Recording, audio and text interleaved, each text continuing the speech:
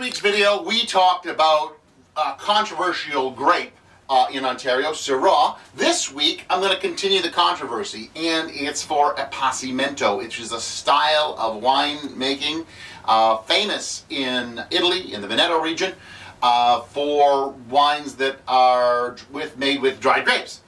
Uh, Ontario started to do this a few years back, and some people love it, and some people hate it.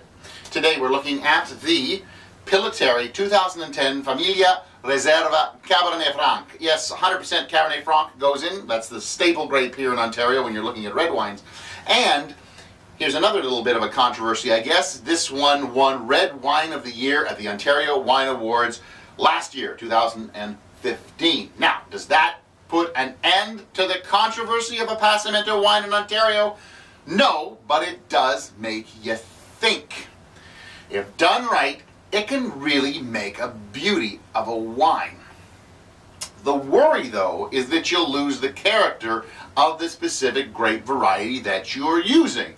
Of course, in the Veneto, they use a pile of grapes to make Amarone. Here in Ontario, we're using just one in this particular wine, Cabernet Franc. Now, the Cabernet Franc has lost no characteristics whatsoever. It's smoky, it's got lots of tobacco, it's got raspberry, it's got black cherry, it's got some savory elements.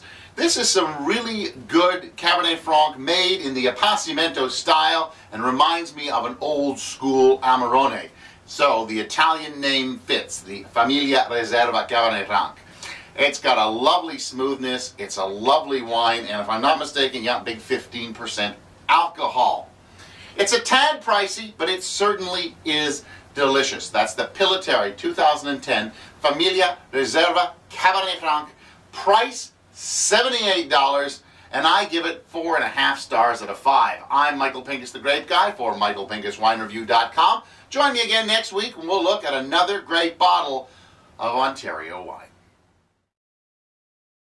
You've been watching the Ontario Wine Review weekly wine video with the grape guy, Michael Pinkus. Subscribe today by visiting YouTube or just clicking that little button on the left. To find out more about michaelpinkuswinereview.com, visit the website. Sign up for the new weekly newsletter. And while there, why not get the scoop on the new Grape Guy Events app, where you collect points for visiting wineries, attending events, retweeting videos, and so much more.